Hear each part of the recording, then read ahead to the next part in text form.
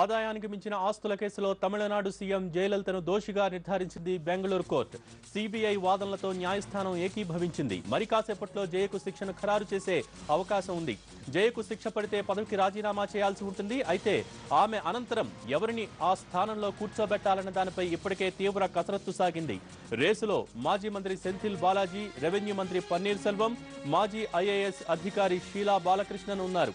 అటు మరో ఏడాదిలో అసెంబ్లీ ఎన్నికలు రాబోతున్నాయి. దీంతో పార్టీ బాధ్యతలు బాలాజీకి అప్పగించే అవకాశాలు మెండుగా కనిపిస్తున్నాయి. సెంధిల్ లేదా షీలాకు సీఎం పగ్గాలు అప్పగిస్తారన్న ప్రచారం కూడా జోరుగా సాగుతోంది. ఇక కేసు విషయానికి వస్తే ఆదాయానికి మించి అరవై ఆరు కోట్లు సమకూర్చుకున్నారు అన్నది ప్రధాన ఆరోపణ.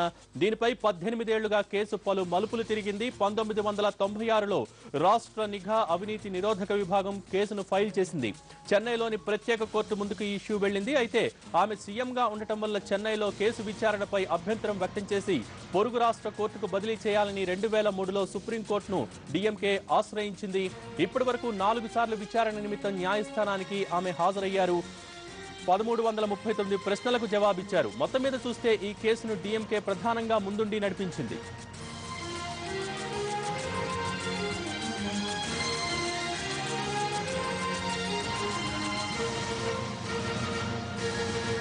మరి కాసేపట్లో ప్రత్యేక కోర్టు శిక్షను ఖరారు చేయనుంది. దీంతో బెంగళూరు పరప్పన అగ్రహార జైలు ఆవరణలోని ప్రత్యేక కోర్టు వద్ద పోలీసులు భారీ బందోబస్తు ఏర్పాటు చేశారు. కోర్టు వద్దకు అన్నాడీఎంకే కార్యకర్తలు వేలాదిగా చేరుకుంటున్నారు. ఆదాయానికి మించి ఆస్తులు కలిగి ఉన్నారని పంతొమ్మిది వందల తొంభై ఆరులో జయలలితపై కేసు నమోదైంది. జయలలితతో పాటు ఆమెకు అత్యంత సన్నిహితురాలైన శశికళ ఆమె కుమారుడు సుధాకరన్ బంధువు ఇళ్ళవరసి కూడా కేసులో నిందితులుగా ఉన్నారు. అప్పట్లో జయలలిత ఇంట్లో జరిపిన సోదాల్లో ఎనిమిది వందల ఎనభై కిలోల వెండి ఇరవై ఎనిమిది కిలోల బంగారం పదివేలకు పైగా చీరలు తొంభైకి పైగా వాచీలు ఏడు వందల యాభై జతల పాదరక్షలు స్వాధీనం చేసుకున్నారు. తమిళనాడులోని అనేక చోట్ల జయలలిత ఆస్తులు కూడబెట్టారని ఆరోపణలు వచ్చాయి. కేవలం ఒక్క రూపాయి వేతనం తీసుకుని ఇంత ఆస్తి ఎలా కూడబెట్టారని అభియోగం నమోదైంది. జయ నివాసం నుంచి స్వాధీనం చేసుకున్న వస్తువుల్ని న్యాయమూర్తి స్వయంగా పరిశీలించారు. దీనిపై రెండు వేల పదకొండులో జయలలిత స్వయంగా కోర్టుకెళ్ళి వాంగ్మూలం కూడా ఇచ్చారు. అప్పటి నుంచి కేసు విచారణ కొనసాగుతోంది. ఈ కేసు విచారణ తొలుత చెన్నైలోనే జరిగినా మళ్ళీ జయలలిత సీఎం కావడంతో న్యాయస్థానాన్ని ప్రభావితం చేస్తారని డీఎంకే పిటిషన్ దాఖలు చేసింది.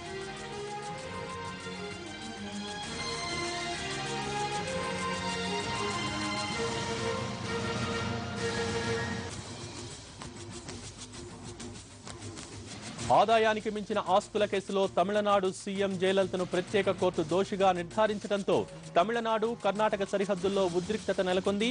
తమ అధినేత్రిని దోషిగా నిర్ధారించడంపై అనాడీఎంకే శ్రేణులు తీవ్ర దిగ్భ్రాంతికి గురయ్యాయి. దోషిగా నిర్ధారణ కావడంతో జయలలిత రాజకీయ భవితవ్యం ప్రమాదంలో పడింది. తీర్పు అనంతరం జయలలిత సీఎం పదవి నుంచి వైదొలిగే అవకాశాలు కనిపిస్తున్నాయి.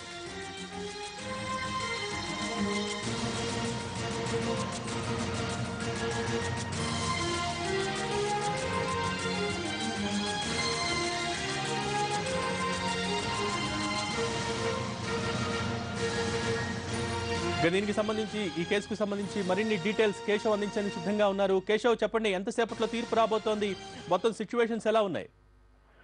ఆ తమిళనాడు ముఖ్యమంత్రి జయలలిత ఆ, అక్రమ ఆస్తుల కేసు విచారణ తీర్పు మొత్తం ఫుల్ ఇదైందని చెప్పాలి. ఎందుకంటే ఆ, జ- జయలలిత కేసులో ఇప్పటికే ఆ, ఇక్కడ న్యాయమూర్తి ఆమె దోషిగా ప- పరిగణించడం జరిగింది. తర్వాత ఇప్పుడు మా ఆమెకు శిక్షలు ఖరారు చేస్తున్నారని మనకు ఒక సమాచారం. తర్వాత జయలలిత తరపు న్యాయవాదులు ఆమె ఏజ్ని తర్వాత ఆమె ఉన్న ఆరోగ్య పరిస్థితుల్లో అవన్నీ గమనించుకొని ఆమెకు శిక్ష ఖరారు చేయాలని చెప్పేసి ఒకసారి న్యాయమూర్తిని అడుక్కున్నట్లు కూడా మనకి సమాచారం అందుతుంది. అంటే ఇప్పటికే అంటే ఈ మొత్తం కేసులో అరవై ఆరు కోట్ల రూపాయల అక్రమంగా ఆమె ఉంచుకున్నారు అనే ఒక ప్రధాన అభియోగంపై ఆ, మొత్తం ఇప్పుడు శశికళ తర్వాత శశికళ శశికళనే డైరెక్ట్గా ఈ న్యాయమూర్తితో చెప్పి మొత్తం ఆస్తులన్నీ నాదే నా కలిగినవే కానీ జయలలితకి ఎటువంటి సంబంధం ఉండలేదు అని చెప్పేసి కూడా న్యాయమూర్తితో చెప్పినట్లు తెలుస్తుంది. చూస్తుంటే ఇప్పుడు జయలలితకు ఎన్ని ఏళ్ళు శిక్షను ఖరారు చేస్తారు అనే పైన మొత్తం కేంద్రీకృతమైంది కానీ ఇప్పటికే జయలలితకు ఒక మనకు వస్తున్న రూమర్స్ ప్రకారం ఒక రెండేళ్ళ నుంచి నాలుగేళ్ళ లోపు వరకు జైలు శిక్ష అయ్యే ఛాన్సెస్ ఉన్నాయి తర్వాత శశికళకు ఆ, సుగత అండ్ యూనివర్సిటీకి సుమారు రెండేళ్ళు శిక్ష పడే ఛాన్సెస్ ఉన్నాయని కూడా మనకి సమాచారం అంటుంది. కానీ ఎటువంటి పరిస్థితుల్లో కూడా జయలలితకు ఒక సంవత్సరానికి పైగా జైలు శిక్ష పడకుండా చూసుకునే విధంగా వీళ్ళు శశికళ మరియు వీళ్ళు ఆ, జ- జడ్జిని ఆడుకుంటున్నట్లు కూడా సమాచారం ఉంది. ఇప్పుడు ఉన్న పరిస్థితుల్లో అయితే ఇంకా ఒక కొద్ది క్షణాల్లోనే ఒక జడ్జిమెంట్ కూడా బయటకు వచ్చే ఛాన్సెస్ కనపడుతున్న భోగి. మొత్తం ఇక్కడున్న ఆ, పరిస్థితుల్లో అయితే ఆ, జైలంతా ఒకసారి ఈ జైలుకు వెళ్ళే ఛాన్సెస్ తగ్గించే ఛాన్సెస్ ఉన్నాయా? లేకపోతే ఆమె ముఖ్యమంత్రి పదవి వదులుకుంటారా లేదా అనే పైన ఇప్పుడు ఒక సందిగ్ధత మొదలైంది. ఎందుకంటే ఒక ఆరు నెలలు సంవత్సరం అయితే ఆమె ఒక బెయిల్ పైన బయటకు వచ్చి ఆ తర్వాత వేరే కోర్టును ఆశ్రయించే ఛాన్సెస్ ఎక్కువగా ఉన్నాయి. తర్వాత రాబోయే రోజుల్లో రాజకీయంగా ఆమె రాజకీయంగా ఆమె ఎటువంటి ఎలక్షన్స్లో పోటీ చేయడానికి కూడా ఆమె అర్హ అర్హురాలుగా ప్రకటిస్తారు. కానీ మూడేళ్ళ పైన అయితే ఆమె రాజకీయ ఎలాంటి ఎలక్షన్స్ లో పోటీ చేయడానికి కుదరదు కాబట్టి ఈ మొత్తం సీన్ని శశికళ మరియు ఆ, సుదర్శన్ నిలవర్తి వీళ్ళు ముగ్గురు వేసుకొని జయలలితను బయటికి కోసం ప్రయత్నాలు జరుగుతున్నట్లు మనకి ఒక సమాచారం ఉంది ఒకటి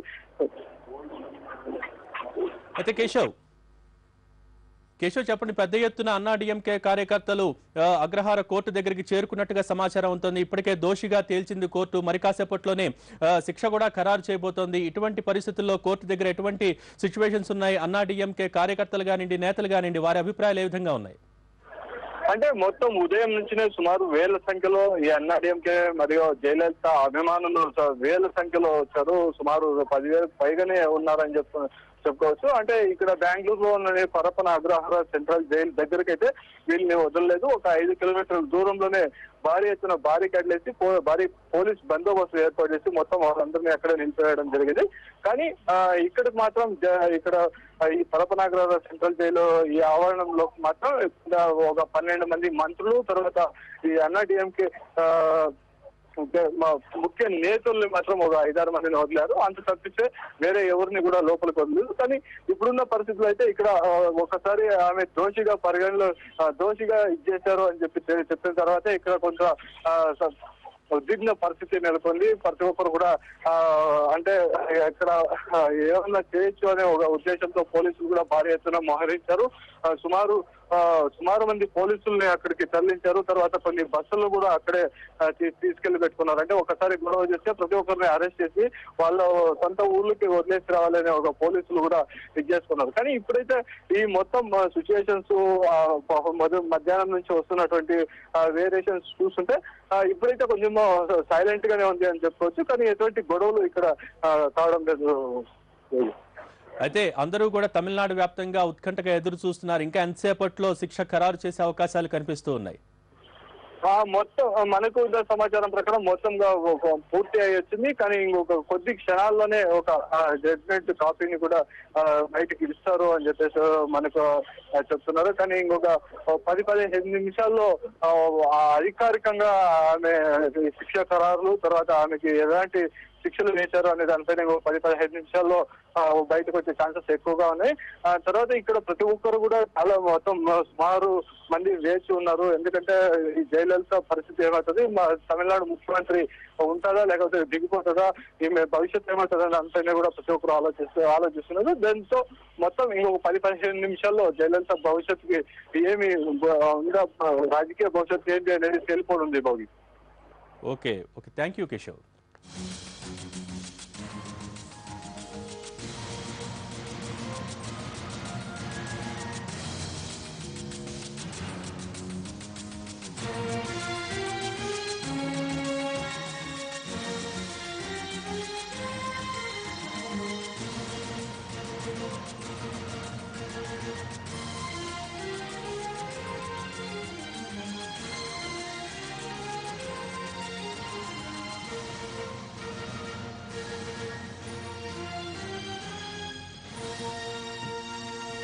Jayalalitha ఆదాయానికి మించిన ఆస్తుల కేసులో బెంగళూరు స్పెషల్ కోర్టు తీర్పుపై ఉత్కంఠ కొనసాగుతుండగా డీఎంకే ముఖ్య నేతలు కరుణానిధి ఇంట్లో సమావేశమయ్యారు. ఈ భేటీలో భవిష్యత్ కార్యాచరణపై నేతలు చర్చిస్తున్నట్టు సమాచారం. ఈ సమావేశానికి కరుణానిధి స్టాలిన్తో పాటు కీలక నేతలు హాజరయ్యారు. జయను కోర్టు దోషిగా తేల్చిందనే వార్తలతో డీఎంకే కార్యకర్తలు సంబరాలు చేసుకుంటున్నారు.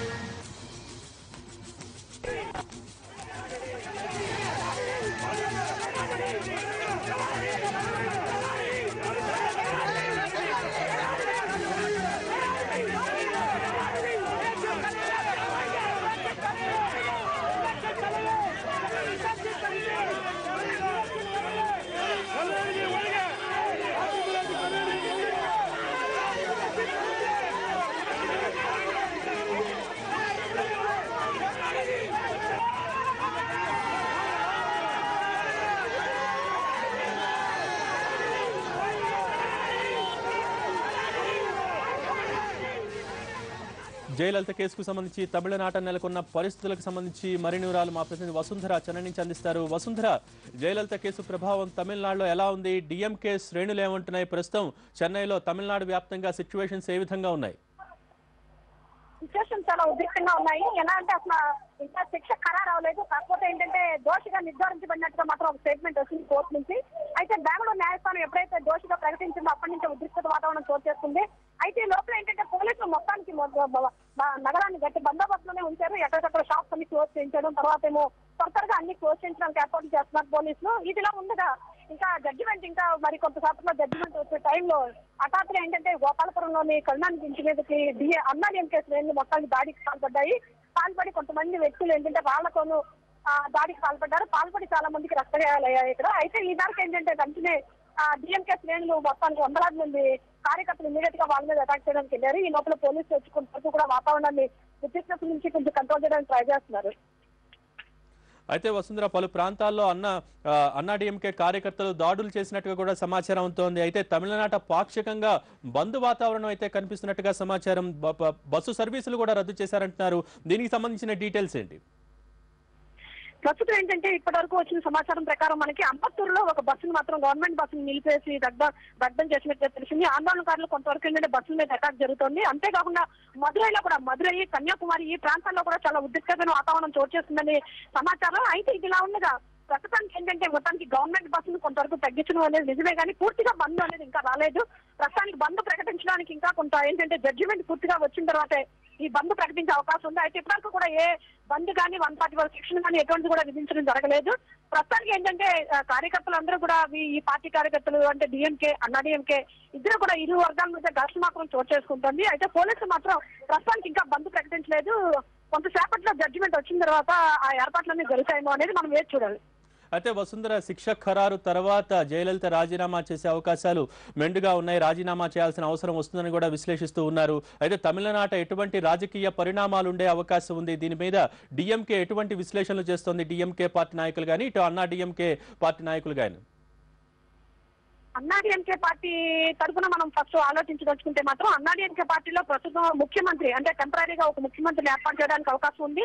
అయితే ఆ ముఖ్యమంత్రి ఎవరన్నదని మాత్రం ఇంకా బరిలో ముగ్గురు మాత్రం మంత్రులు ముగ్గురు ఉన్నారు. గోకులు ఇందిర అలాగే ఆ, బాలాజీ ఒక తర్వాత పన్నీర్ సెల్వం ఈ ముగ్గురు కూడా బరిలో ఉన్నారు. అయితే ఏంటంటే ప్రస్తుతానికి ఆ ముగ్గురులో ఎవరో ఒకరు ఖచ్చితంగా ముఖ్యమంత్రి అవ్వడానికి అవకాశం ఉంది. అయితే మరో వర్గం అంటే డిఎంకే మన వర్గం నుంచి మనం ఆలోచిస్తే కనుక డిఎంకేలో ఏంటంటే వాళ్ళు మరో విధంగా వాళ్ళ ఆలోచన విధానం ఉంది. వాళ్ళ సమావేశం ప్రస్తుతం మధ్యాహ్నం నుంచి సమావేశం జరుగుతుంది. గవర్నర్ ఇంట్లోని. అయితే దానికి మాజీ మంత్రులు అలాగే ఉప ముఖ్యమంత్రి మాజీ ఉప ముఖ్యమంత్రి స్టాలిన్ అందరూ కూడా ఉన్నారు. అయితే ఏంటంటే వాళ్ళు ప్రచురించిన వార్త ఒక వార్త ఇప్పుడు ఈవినింగ్ వచ్చిన ఒక పేపర్లో తమిళ పేపర్లో వచ్చిన వార్త ప్రకారం దానికి స్టాలిన్ వచ్చి వచ్చే ఎన్నికల్లో పార్టిసిపేట్ చేయబోతున్నారు స్టాలిన్. వచ్చే ఎన్నికల్లో ఖచ్చితంగా అతను నాయకుడు అవుతాడు. మనకి నేత అవుతాడు అని చెప్పేసి భారీ ఎత్తున ఆ, పెద్ద ప్రచురణ అంటే ఒక వార్తను ప్రచురించడం జరిగింది. ఈ మేరకు ఆ వార్తలో అంటే ఆ పేపర్లో వార్త ప్రకారం మనం గనక అనాలిసిస్ చేస్తే గనక వీళ్ళు మరొకసారి ఎన్నికలకు రెడీ అవుతున్నట్టుగానే అనుకో అనుకోవచ్చు మనం. అయితే ఎన్నికలు జరగడానికి అవకాశాలు ఒకటి ఉన్నది. ఏంటంటే ఆ విషయం ఏంటంటే ఆ ప్రస్తుతం శాంతి భద్రత మాత్రం కంట్రోల్ అవ్వకపోతే గవర్నర్ పాలన కావాలని చెప్పి వీళ్ళు ఒక లెటర్ రాయొచ్చు. అలాగే గవర్నర్ పాలన కిందకి రాష్ట్రం వెళ్ళి ఇమీడియట్గా ఎలక్షన్స్ రావడానికి అవకాశం ఉండొచ్చు. లేదా ముఖ్యమంత్రి అన్నాడీఎంకే తరఫున ముఖ్యమంత్రి వచ్చి శాంతి భద్రతలు మాత్రం పరిరక్షించగలిగితే కనుక అన్నాడీఎంకే ముఖ్యమంత్రి వచ్చే ఎన్నికల వరకు కూడా ఫాలో అవడానికి అవకాశం ఉండొచ్చు. సో ఈ రెండింటిలో ఏదైనా ఒకటి జరగడానికి అవకాశం ఉంది. అది కూడా మనం ఈ సాయంకాలంలోపే చూడగలుగుతాం. అయితే వసుంధర జయలలిత రాజీనామా చేస్తారా? తర్వాత సీఎం రేసులో ఎవరున్నారు? ఇది పక్కన పెడితే మరి పార్టీ పరిస్థితి ఏంటి? పార్టీ పగ్గాలు ఎవరు చేపట్టే అవకాశాలు ఉన్నాయి? పార్టీని ముందుండి నడిపించే నాయకుల తర్వాత జయలలిత తర్వాత ఎవరున్నారు? దీనికి సంబంధించిన సిచ్యువేషన్స్ ఏంటి? జయలలిత పార్టీ తరఫున అన్న- ఆ రకం చూస్తే కనుక ఆమె కుటుంబ పరంగా వారసులు లేరు అలాగే రాజకీయ పరంగా వారసులు లేరు. ఏ రకంగా అంటే జయలలితకి ఒక ఫ్యామిలీ లేకపోవడం ఉండే వాళ్ళంతా కూడా ఏదో శశికళ నిత్యులు శశికళ లేదంటే ఆమె పెంపుడు కుమారుడు సుధాకర్ ఇటువంటి వాళ్ళే ఉన్నారు తప్ప రాజకీయ పరంగా ఆమెకంటూ వారసులు ఎవరు లేరు. ఆమె తర్వాత వారసుడు అనేది కూడా ఎప్పుడు కూడా ప్రశ్నార్థకమే. ఈ సిచ్యువేషన్లో అంటే మరొక వారసుని తయారు చేసే టైం అనేది ప్రస్తుతం లేదు. అలాగే ఆమె ఇప్పటివరకు కూడా ఏ వారసుని తయారు చేసుకోలేదు రాజకీయ పరంగా. సో దీంతో ఏంటంటే అన్నాడీఎంకే పార్టీలో జయలలిత తప్ప రీప్లేస్మెంట్ అనేది కూడా ఎవరికి ఇక్కడ కనిపించదు. ఇది అన్నాడీఎంకే పార్టీ వ్యవహారం. అయితే డిఎంకే తరఫున చూసుకుంటే కనుక మనం డిఎంకే లో చాలా మంది పార్టీ వారసులు ఉన్నారు. కరుణాని తర్వాత స్టాలిన్. ఆ, పార్టీ అధ్యక్ష పదవి నుంచి కూడా స్టాలిన్కి అధ్యక్ష పదవి ఇస్తారని చెప్పి కన్నాన్ని ఒకప్పుడు ప్రతి ప్రచారం చేశారు. అలాగే ఉప ముఖ్యమంత్రిగా ఆయన చేసి తర్వాత ముఖ్యమంత్రి చేయడానికి కూడా కన్నానిది గతంలో ఒకసారి ట్రై చేశారు. సో దీంతో ఏంటంటే డిఎంకేకి వారసులు ఉన్నారు కానీ అన్న డిఎంకేకి రాజకీయ పరంగా వారసులు లేరు. అయితే వసుంధర ఇప్పటికే కేసు వేసిన సుబ్రహ్మణ్య స్వామి ఇంటిపైన కూడా అన్నాడీఎంకే కార్యకర్తలు దాడి చేసినట్టుగా సమాచారం అవుతోంది. శాంతి భద్రతలు అదుపు తప్పకుండా పోలీసులు ఎటువంటి చర్యలు తీసుకుంటున్నారు? పోలీస్ అధికారులు ఏమని చెప్తూ ఉన్నారు? సుబ్రహ్మణ్య స్వామి విషయానికి వస్తే కనుక సుబ్రహ్మణ్య స్వామి ఇటీవల జయలలితని చాలా ట్విట్టర్లో కానీ లేదంటే ఒక పత్రికా సమావేశంలో కానీ అన్నిట్లో కూడా సుబ్రహ్మణ్య స్వామి ఆ జయలలితని చాలా ఏంటంటే చాలా అవమానకరంగా వ్యాఖ్యలు చేయడం దాంతో ఏంటంటే జయలలిత సుబ్రహ్మణ్య స్వామి మీద గత వారంలో ఒకేసారి ఐదు కేసులు బనాయించారు. పరువు నష్టం దావా కేసులు కూడా వేశారనే ఆమె. అయితే ఈ లెక్కన ఏంటంటే నన్ను ఏంటంటే వ్యంగ్యంగా కాకుండా నా మర్యాదని భంగం పరిచే విధంగా భంగం పరిచే విధంగా సుబ్రహ్మణ్య స్వామి వ్యాఖ్యలు చేసినందు వల్ల నేను పరమేశ్వరం దావా కేసేస్తున్నానని చెప్పేసి ఆమె ఫిర్యాదులో పేర్కొన్నారు లాయర్ తరఫున. అయితే ఈ కేసు ఇలా ఫాలో అవుతున్న టైంలో అంటే సుబ్రహ్మణ్య స్వామి చేసిన వ్యాఖ్యలో ఏంటంటే ఆమె మీద ఉన్న ఈ కేసుల గురించి సుబ్రహ్మణ్య స్వామి వ్యాఖ్యలు చేశారు. అయితే కోట్లాది రూపాయలు అంటే రూపాయి జీతంతో కోట్లాది రూపాయలు ఆమె ఎలా సంపాదించగలిగారు? ఇటువంటి వ్యాఖ్యలు ఎన్నో చేసిన సుబ్రహ్మణ్య స్వామి మీద ప్రస్తుతం అన్నాడీఎంకే శ్రేణులకు చాలా కోపద్రేకలు పెరిగిపోయి ఉన్నాయి. ఎందుకంటే అది ఒక రకమైన కడుపు మంటనే చెప్పొచ్చు. ఒకవైపున ఆమె జైలుకి వెళ్ళే టైంలో కేవలం ఆమె జైలుకి వెళ్ళడానికి కారణం ఇవన్నీ అవ్వుండొచ్చు. ఒకటి డిఎంకే తరఫున ఆ కోర్టులో కోర్టులో దాఖలైన కేసు ఒక కారణం. సుబ్రహ్మణ్య స్వామి చేసిన వ్యాఖ్యలు మరో కారణం అనే ఒక ఉద్రేకంలో ఉన్నారు అన్నాడీఎంకే శ్రేణులు. దీంతో ఏంటంటే ప్రతి ఇంటి పైన కూడా దాడి చేయడానికి అన్నాడీఎంకే కార్యకర్తలు ఎంత అడుగు వేయడం లేదు. దీంతో పోలీసులు ఎక్కడికక్కడ సెక్యూరిటీ ఏర్పాట్లు పూర్తిగా కట్టుదిట్టం చేశారు. అటు సుబ్రహ్మణ్య స్వామి ఇంటి దగ్గర అలాగే జయలలిత మీద కేసేసిన అన్మడగన్ మీద అన్మడగన్ ఇంటి దగ్గర అలాగే కరుణానిధి ఇంటి దగ్గర మొత్తం కేంద్ర బలగాలు కూడా కిందకి దిగినాయి. ఇక ప్రస్తుతానికి ఏంటంటే కేంద్రం నుంచే కాదు రాష్ట్ర ప్రభుత్వం పోలీసులు కూడా ప్రస్తుతం సెక్యూరిటీ ఏర్పాటు చేయడంలోనే ముందుకున్నారు థ్యాంక్ యూ వసుంధర.